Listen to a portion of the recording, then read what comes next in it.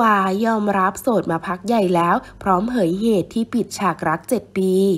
เป็นอีกนักร้องสาวสุดแซ่บที่มักจะออกมาอวดภาพความสวีทกับแฟนหนุ่มให้แฟนๆ ได้เห็นกันอยู่ตลอดสำหรับสาววายปัญญาริสาเทียนประสิทธิ์ แต่ช่วงหลังมานี้ไม่มีภาพเธอกับหวานใจ มิโนบราเรลา อยู่ในอินสตาแกรมเลย งานนี้ทำเอาแฟนคลับ ต่างเข้าไปถามถึงเรื่องนี้จากเธอกันเพียบ ซึ่งล่าสุดวายได้ออกมาตอบคำถามแฟนๆ ผ่านทางช่อง YouTube ตอน Q&A ตอบที่แรก เลิกกับแฟนแล้วหรอ ซึ่งมีคคำถามหนึ่งที่ถามว่าโสดแล้วหรอคะ ไม่เห็นลงรูปคู่เลยค่ะช่วงนี้ โดยหวานได้ตอบว่าตอนนี้ก็โสดแล้วค่ะ ไม่ได้มีรูปคู่มานานแล้ว ที่จริงก็ไม่ได้มีอะไรต้องเล่ามาก เราโสดมาพักใหญ่แล้วนะคะแต่ว่าไม่ได้มีโอกาสที่จะบอกทุกคนมากกว่า แล้วรู้สึกว่ามันไม่ได้เป็นอะไรที่ต้องประกาศ ด้วยความที่เราก็ยังเป็นเพื่อนกันอยู่ ทุกอย่างก็ยังคล้ายๆเดิมอยู่ แค่ลดสถานะแค่นั้นเอง ตอนนี้ก็โอเคแล้วนะคะ เหตุผลหรอคะ ที่จริงแล้ว